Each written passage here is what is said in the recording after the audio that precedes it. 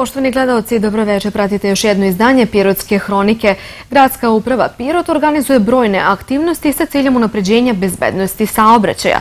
Sutra će biti organizovana još jedna akcija dobrovoljnog davanja krvi u prostorijama Crvenog krsta u Jevrojskoj ulici broj 2 od 9 do 16 sati. Dom kulture Pirot večeras organizuje koncert Dua Prometeus. Koncert počinje u 20 sati. Čućete i detalje o istorijskom uspehu Uroša Mijalkovića u Moskvi. Ostanite sa nama, na početku gledamo najvažnije vesti dana. Sukob meštana, aktivista i radnika, investitora u Toplom dolu. Prijemom za najmlađe kod gradonačelnika počela Dečija nedelja. Istorijski uspjeh Uroša Mijalkovića.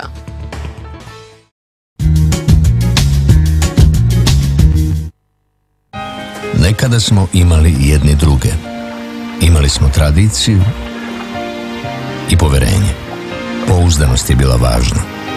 Tražili smo sigurnost i sticali snagu. Vremena se menjaju, prave vrednosti ostaju. I tradicija se nastavlja. 45 godina prijateljstva. Dunav osiguranje.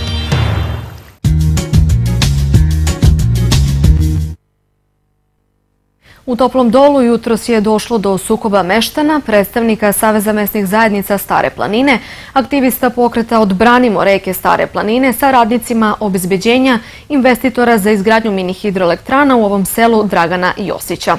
Tokom prepodneva televizija Pirot je na svojoj Facebook stranici počela da dobija poruke o sukobu koji se dogodio u ovom selu. Ovu informaciju potvrdili su nam akteri događaja, meštani i investitor Dragan Josić. Sve dok jutrošnjeg sukoba u selu Topli Doje i predsjednik Saveta mesne zajednice Temska Tomislav Pančić. U izjavi za televiziju Pirot potvrđuje da je došlo do fizičkog obračuna meštana, predstavnika Saveza mesnih zajednica Stare planine, aktivista pokreta Odbranimo reke Stare planine i radnika obezbeđenja investitora za izgradnju mini hidroelektrane u ovom selu Dragana Josića. Povređeno je nekoliko aktivista, meštana i radnika obezbeđenja investitora. Ovo je počelo u ranim jutarnim časovima. Investitor je ovaj, uz prevaru samih ljudi koji su bili na barikadi, on je zamajavao faktički ljude koji su bili na, na barikadi, međutim on je u pozadini sišao sa babinog zuba i već počeo da gradi svoj posjet.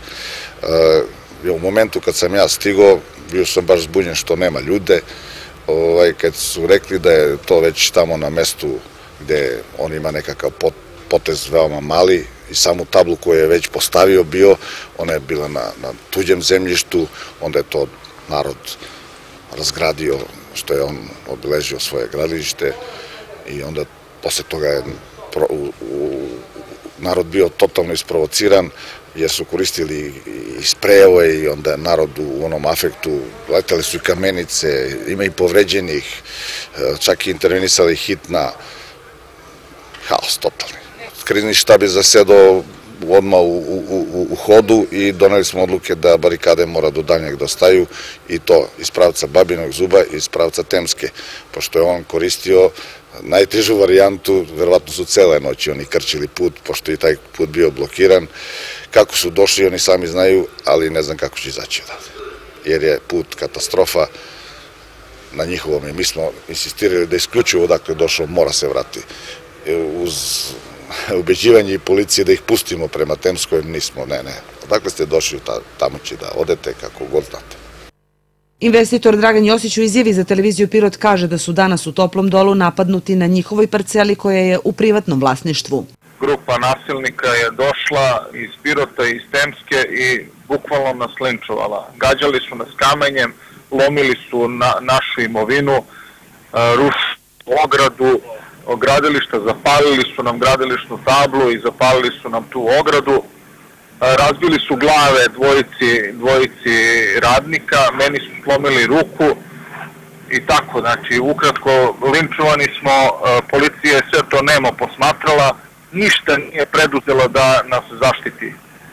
Tako da e, mislim da je pravna država umrla jutro u toplom dolu s obzirom da policija ne želi da hapsi ljude koji na očigled njih biju radnike, gađaju kamenicama, lome šok šajne na, na automobilima, škole ruše, ne želi nikako da ih e, sankcioniše, e, ja se više neću vraćati u Pirot. Apsolutno nikada više nogom neću kročiti u Pirot. Podsjećamo, meštani aktivisti nedeljama danonoćno organizuju straže na Srđanovom mostu na ulazu u selo kako bi sprečili izgradnju mini hidroelektrane. Pre desetak dana predstavnici pokreta odbranimo reke Stare planine sastali su se i sa predsjednikom Srbije Aleksandrom Vučićem, koji je tom prilikom rekao da će što pre predložiti vladi Srbije da se na sednici Skupštine Srbije donese odluka o zabrani izgradnje mini hidroelektrana u zaštićenim područjima. Pripadnici policijske uprave Pirot intervenisali su jutro s tokom sukoba meštana sela Topli Do sa jedne i obezbeđenja radnika na izgradnji mini hidroelektrana sa druge strane. Ovom događaju obavešteno je osnovno javno tužilaštvo u Pirotu po čijem nalogu policija obavlja razgovor sa prisutnima i intenzivno radi na rasvetljavanju svih činjenica i okolnosti ovog događaja. Nakon prikupljenih obaveštenja, policija će o novim saznanjima izvestiti nadležno tužilaštvo, navodi se u saopštenju policijske uprave Pirot.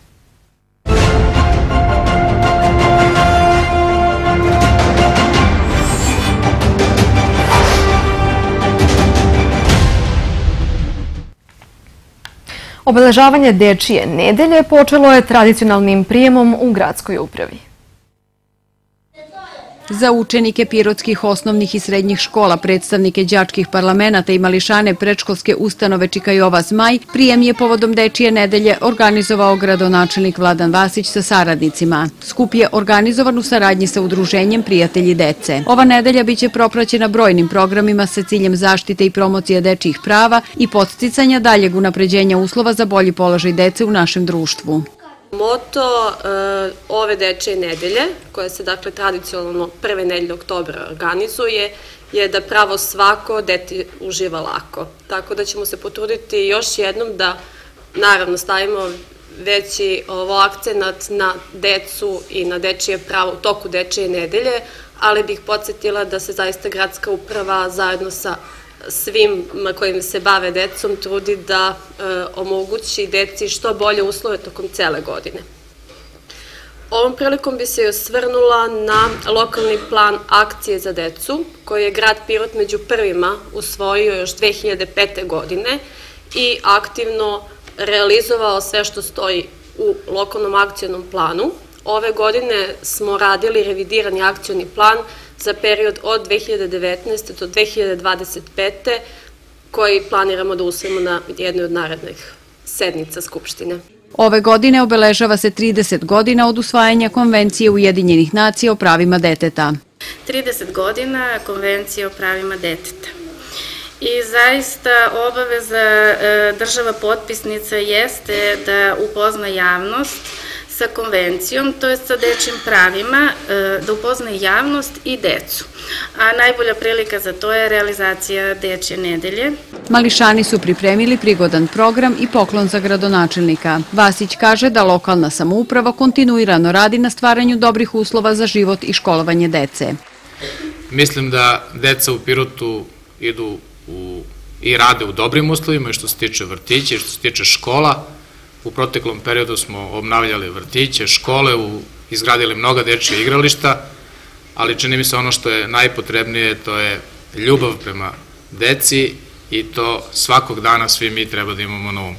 Svima nama jeste prva obaveza da deci učinimo srećan dan i srećno detinstvo i da kad ona porastu i budu na ovim mestima gde smo mi sada, takođe deci koje će biti u Pirotu, nadam se u većem broju nego danas, urade isto da im detinstvo bude lepo. Srećna vam dečja nedelja i nadam se da Pirot može slobodno da kaže da je grad po meri dece i da će svake godine biti lepše mesto za življenje. Brojne programe ove nedelje organizovaće sve osnovne škole i preškolska ustanova Čikajova Zmaj, Narodna biblioteka, Srednja stručna škola i Visoka škola strukovnih studija za obrazovanje vaspitača. Dan za dobrotu je 9. oktobar kada je predviđena poseta dečijem odeljenju Pirotske bolnice. Načelnica Pirotskog upravnog okruga Dragana Tončić nedavno je u Beogradu učestvovala na skupu Žene lideri i održivi razvoj istinski ravnopravne. Međunarodna konferencija Žene lideri i održivi razvoj istinski ravnopravne prvi put je održana u Srbiji. Okupila je više od 200 liderki iz zemlje i regiona. Cilj je uspostavljanje saradnje između žena svetskih lidera i žena lidera naše zemlje i Balkana. Ovom skupu prisustvovala je i načelnica Pirotskog upravnog okruga Dragana Tončić. Sastanak, samit koji je bio vrlo i posvećen i zapažen, gde je jednostavno prikazana žena kao ne žena domaćica, već je žena lider koja je spremna da se bori i da se izbori i za svoja prava i za svoj stav i na kraju da bude lider. Jer kao što je poznato kroz istoriju, malo da se vratimo i na onaj aspekt kad je žena bila ta koja je ostajala u, u svojoj kući, koja je održala i bila stup porodice i kroz sva ona ratovanja kad su muškarci odlazili, ipak je žena bila ta koja je ostala i opstala i održala porodicu u ovoj našoj Srbiji.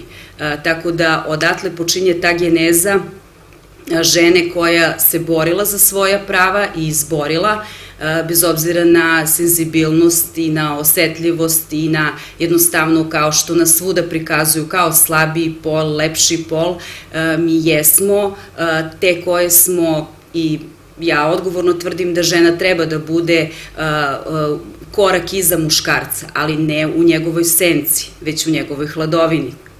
Svoje iskustva između ostalih predstavile su ministarke, državnice iz regiona i predsednice lokalnih samouprava. Razmena iskustava je veoma značajna, kaže Tončićeva i dodaje da su ona uglavnom slična. Interesantno je bilo da je e, predstavnica Azerbeđana koja je tamo u njihovom nacionalnom savetu e, iznala podatak da je Azerbeđan prva e, zemlja u svetu koja, je, koja se borila i izborila za ženska prava. Još od 1918. godine su žene kod njih lideri. Vrlo jedna pametna, svestrana žena koja je prošla kroz, u godinama je sada žena koja je kroz životni radni vek prošla različite pozicije i stekla različite iskustva i različita znanja, tako da je bilo vrlo interesantno za slušanje, a mi u publici gde uglavnom su bile žene i tu je bilo puno žena i sa hendikepom koje su na odgovornim mestima, bilo je za ponos što si učesnik takvog, takve konferencije, a i za ponos što si ženskog roda. Na dvodnevnoj konferenciji bilo je više tema o osnaživanju žena. Jedna od njih je rodni stereotipi i predstavljanje žena u medijima. Skup je organizovalo Ministarstvo za rad, zapošljavanje, boračka i socijalna pitanja. Agencija za bezbednost saobraćaja Srbije radi od 2010. godine. Kroz saradnju sa lokalnim samoupravama i realizacijom brojnih kampanja konstantno se radi na povećanju svesti građana o značaju bezbednosti u saobraćaju. Poštujte saobraćajne propise, poručuju iz Republičke agencije za bezbednost saobraćaja. Ne treba da poštuju saobraćajne propise zato što će neko da ih kazni, nego baš iz razloga što to može da im spasi život. ako pričamo o statistici, za prvih devet meseci nam je poginulo 343 ljudi, da kažem da je to imamo povećanje možda nekih 3% u odnosu na prethodnu godinu, imamo oko 12.000 lisa povređenih, što znači da imamo smanjenje nego za isti period prošle godine. jeste bilo i po medijima naravno da nam je jul malo bio kritičan i da se imamo veći broj poginulih, međutim imamo smanjenje sad u augustu, hvala Bogu, za 16%, tako da smo otprilike na istom nivou kao, kao prethodne godine. Posebna pažnja skreće se mladima kroz kampanju Um na drum, koja se realizuje poslednjih nekoliko godina. Da se promeni sve mladi, da shvate da ne treba da voze pod dejstvom alkohola, da moraju da koriste sigurnosni pojas, e, da ne smiju da koriste telefon dok voze. Sve to, e, recimo, na ovom simulatoru. Oni prvo voze e, bez, bez pijanih naočara i onda sa pijanim naočarima, da onda na kraju dobijaju greške, mogu da uporede kako to, kako, koje su greške napravili bez pijanih naočara i sa pijanim naočarima, odnosno da kažem ako su u alkoholisanom stanju. Takođe može da se koristi za distrakciju, znači možete da vozite i onda možete recimo da uzmete da kucate poruke na telefonu i da vi isto vidite koliko ćete e, grešaka napraviti. Radimo edukacije i sa starijim ljudima i sa vozačima i sa e, mladima, jel, sa, sa, sa roditeljima e, za, eto, kada kažem, i upotrebu i sigurnosno pojese i pojese i autosedišta za decu. Prosto mora da se radi non stop, da se priča i valjda će, ako budemo non stop dosadni, non stop pričali o bezbednosti saobraćaja, pa valjda ćemo uspjeti da promenimo sve. Podaci iz ove godine pokazuju da su među najugroženijim učesnicima u saobraćaju putnici u putničkim vozilima i starije osobe kao pešaci, dodaje Miljuševa. Najavljuje i nastavak obuka za upotrebu autosedišta.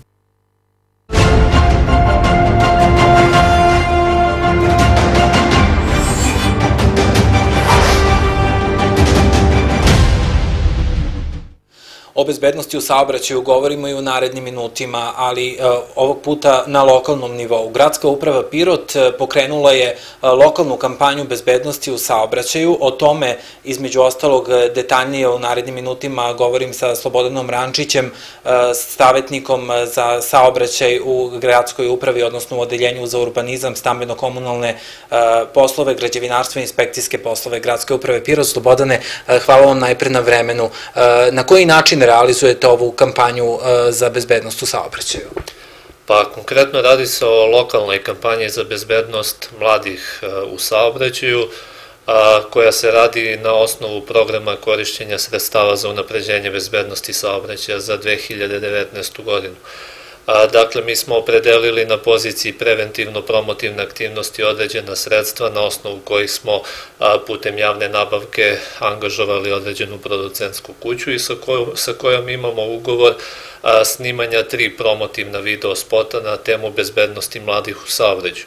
Radi se pre svega o internet kampanji, dakle osnovna ideja je da se ta tri snimljena video spota a, prezentuju mladima i distribuiraju pre svega preko društvenih mreža, Facebooka, Instagrama a, i ostalih, jer smatramo da u današnje vreme sa razvojem tehnologije to je osnovni način komunikacije među mladima. Dakle, mladi veoma redko gledaju a, televiziju, najviše se najviše komuniciraju preko tih društvenih mreža i mislimo da ćemo distribucijom video spotova preko društvenih mreža postići najveći efekat upravo kod mladih koji su ciljna grupa.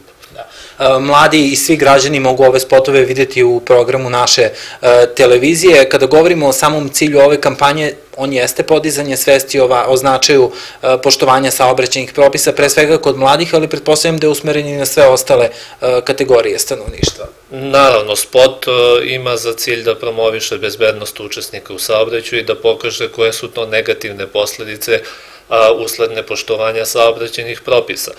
Kažem, ciljna grupa jesu mladi koji su rizična grupa na teritoriji čitave Srbije, ali pored mladih, naravno, ciljna grupa su svi učesnici u saobraćaju, kako stariji od 65 godina, tako i pešaci, tako i biciklisti i, i sve ostale kategorije učesnika u saobraćaju.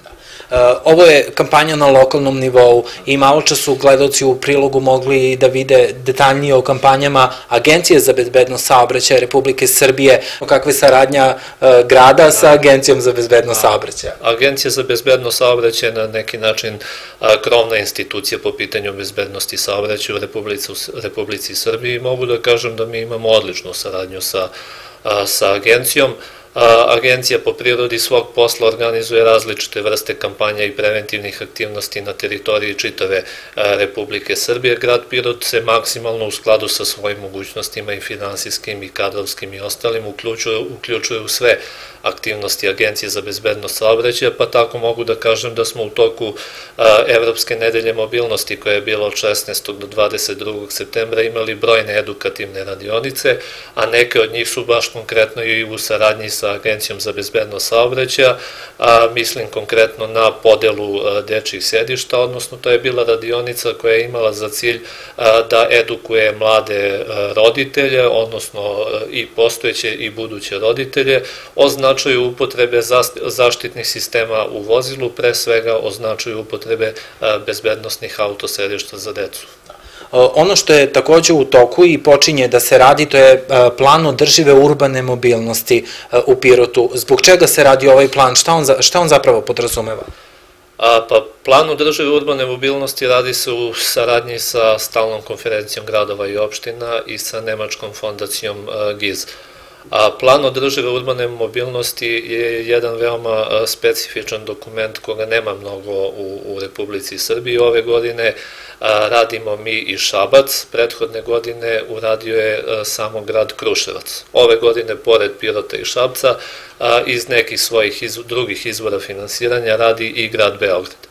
A, kao što sam rekao, plan urbane mobilnosti je jedan veoma specifičan dokument. To je na neki način jedna, jedna sveobuhvatna strategija razvoja saobraćenog e, sistema konkretnog grada Pirota, koja ima za cilj da unapredi uslove uopšte za kretanje i za mobilnost. Dakle, ne govori se samo o razvoju saobraćenog sistema u smislu kretanja putničkih automobila, već pre svega akcenat je na unapređenju uslova za kretanje pešaka, biciklista, razvoja javnog prevoza i drugih alternativnih vidova saobraćaja.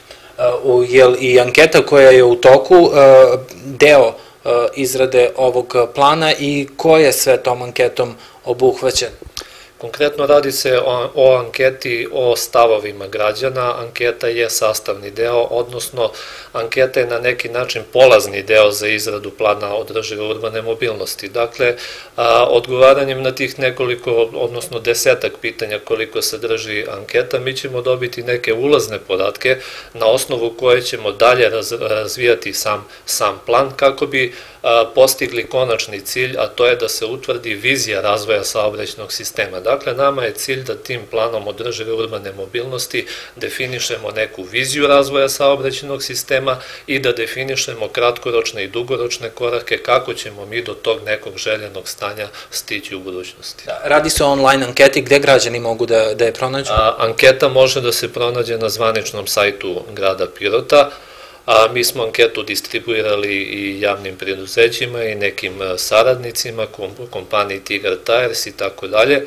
Dakle, ja pozivam građane da, da popune tu anketu, ponavljam, mogu je preuzeti sa sajta grada Pirota. Anketa je anonimna, dakle radi se o desetak vrlo jednostavnih, kratkih pitanja koje će nam, odnosno odgovore na ta pitanja će nam mnogo značiti u budućoj izradi plana. E sada kada e, sumiramo sve ove aktivnosti koje trenutno radite, one e, idu jedna za drugom i negde se međusobno su isprepletane, što je donekle e, i normalno. Koliko je važno konstantno raditi na povećanju svesti o bezbednosti u saobraćaju svih učesnika? Pa praktično to je najvažnije. Kampanje kao kampanje kad se sprovode ad hoc, a ne daju neke dobre rezultate, odnosno daju kratkoročne, rezultate, nekih možda mesec, dva dana i nakon toga se sve vraća na početno stanje. Dakle, najbitnije je da se te aktivnosti sprovode u kontinuitetu tokom čitave godine, naredne godine i svih budućih godina, u saradnji sa svim tim subjektima bezbednosti saobraćaja u saradnji sa obrazovnim institucijama, u saradnji sa Ministarstvom unutrašnjih poslova, u saradnji sa medijima koji imaju izuzetno veliki značaj za unapređenje sistema bezbednosti saobraćaja i samo svakodnevnim i kontinuiranim radom po tom pitanju mogu da se postignu određene rezultate. Ja mogu da kažem da smo mi pre par godina uradili strategiju bezbednosti saobraćaja grada Pirota gde smo definisali neke ciljeve do 2023. godine, a to je da u Pirotu 2023. nema poginule dece u saobraćaju, da se broj stradalih učesnika u saobraćaju prepolovi u odnosu na neko stanje koje je bilo 2017. godine i da se broj teško telesnih, teških telesnih povreda u saobraćaju takođe prepolovi u odnosu na početnu godinu. Mi smo sada već 2019. godini postigli taj cilj koji smo projektovali za 2023. Dakle, u Pirotu nema stradale dece u saobraćaju, broj poginulih i teško povređenih se prepolovio i mi želimo da, da te podatke, odnosno broj povređenih i broj poginulih smanjimo još više u odnosu na ono što smo projektovali za 2023. godinu. Bez obzira što smo, kažem, mi cilj već postigli, cilj je da se taj broj smanji, da ne kažem na, na nulu, opšte je poznata švedska vizija nula, dakle da u saobraćaju nema poginulih i povređenih, to možda deluje nekako utopistički, da je to nerealno i nemoguće, ali svakako težimo tome da broj povređenih i poginulih bude što manji u saobraćaju, a što se tiče dece, da taj broj bude nula. Hvala mnogo na ovom razgovoru. Hvala. Dakle, čuli ste i šta se sve radi na lokalnom nivou što se tiče bezbednosti u saobraćaju. Iz gradske uprave i iz Agencije za bezbednost saobraćaja poručuju poštujte saobraćene propise bez obzira da li ste pešak, vozač ili ste putnik u nekom vozilu.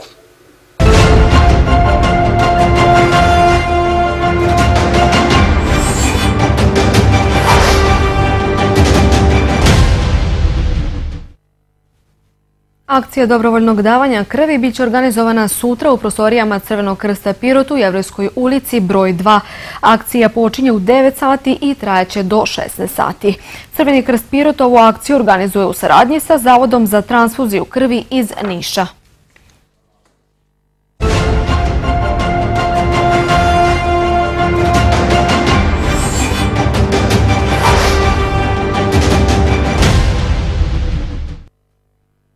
U okviru obeležavanja Dečije nedelje, Narodna biblioteka Pirot predstavit će svoje novo izdanje namenjeno deci i mladima roman Pismo za Badija autora Miloša Sokolovića. Promocija je u četvrtak u 12.30 u svečanoj sali gimnazije.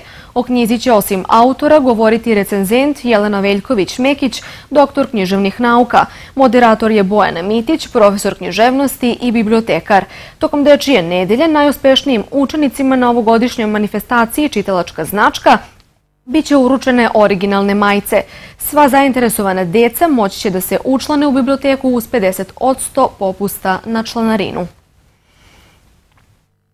A Dom kulture Pirot u okviru koncertne sezone večeras organizuje nastup Dual Prometeus. Nastupaju saksofonista Josef Abad i pijanista Marko Stuparević. Koncert počinje u 20 sati. U galeriji Čedomir Krstić sutra će biti otvorena izložba slika Petra Đorđevića. Biće predstavljene slike nastale tokom 50 godina rada. Đorđević je rođen 1943. godine u Pirotu. Srednju umetničku školu završio je u Nišu. Likovnu akademiju u Beogradu u klasi profesorke Ljubice Cuce Sokić završio je 1969. godine, kod koje je i magistrirao 1972. Živeo je u Parizu od 1972. do 1975. Radio je i u prosveti. Otvaranje izložbe je u 19 sati.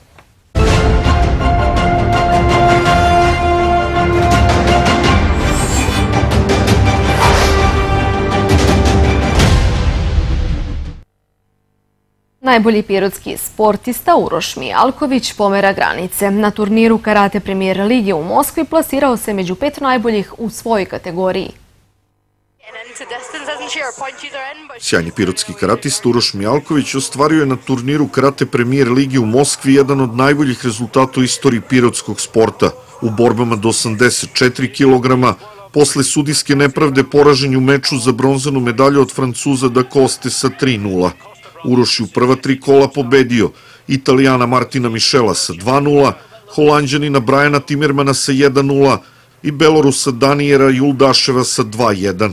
U četvrtom kolu bolji od Mijalkovića bio Iranac Poršab za Bibolah 3-0. Uroš je u repesažu pobedio Brazilca Kajka Rodrigueza 1-0 i tako došao u situaciju da se bori za medalju. U duelu sa Francuzem da Kostom odlučivale su nijanse i to u posljednjih 30 sekundi borbe. Francuz je sa tri udarca sakupio tri poena. Od tog trenutka Uroš Mijalković je krenuo na sve ili ništa, imao nožni udarac u glavu za tri poena i pobedu, ali sudija Turčin Ozdemir procenio je da taj udarac nije bio kompletiran. Čak i komentator koji je radio direktan prenos za sajt Svetske karate federacije čudio se zašto to nisu bili poeni za Uroša Mijalkovića. Međutim, challenge je već bio iskorišćen i provere video snimka nažalost nije bilo. Ostaje utisak da je Uroš Mijalković oštećen. Bez obzira na ovaj poraz u meču za treće mesto, Uroš Mijalković je plasmanom među pet najboljih karatista sveta u svojoj kategoriji ostvario istorijski uspeh. U finalu Iranac Poršab je pobedio Japanca Aragu, a pored Francuza da Koste, bronzanu medalju osvojio je i Rus Denisenko. U 12. kolu Prve lige Srbije Radnički je u subotu u Smederevu poražen od ekipe Smederevo 1924 sa 1-0. Pirotski radnički nije odigrao na svom nivou u Smederevu i na kraju je morao da se pomiri minimalnim porazom. I pored nešto slabije igre, Beli su imali bolje prilike, pogotovo u prvom poluvremenu. Radivojević je mogao da se proslavi. Počelo je sa dve njegove prilike.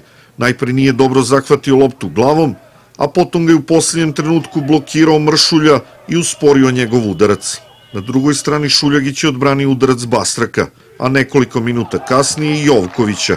U finišu prvog dela Radivojević je šutirao glavom sa Ivice Peterca, nažalost preko gola. I onda u 51. minutu trenutak odluke.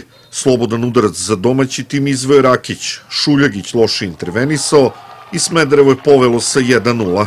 Radnički je potom preuzeo inicijativu. Pokušavali su Tolić, Petrović, Mirković, bez rezultata. Smederevo u finišu moglo da udvostruči prednost, ali je pokušaj Bajića zaustavio golman Šuljagić. Ostalo je Smederevo radnički 1-0. U sredu se igraju susreti vanrednog 13. kola. Beli dočekuju u derbiju ekipu Kabela iz Novog Sada. Susret počinje u 15 sati. Poštovani gledalci, to je bilo sve što smo pripremili za ovo izdanje Hronike. Hvala vam na pažnji, ostanite uz naš program, mi vam želimo prijetno večer.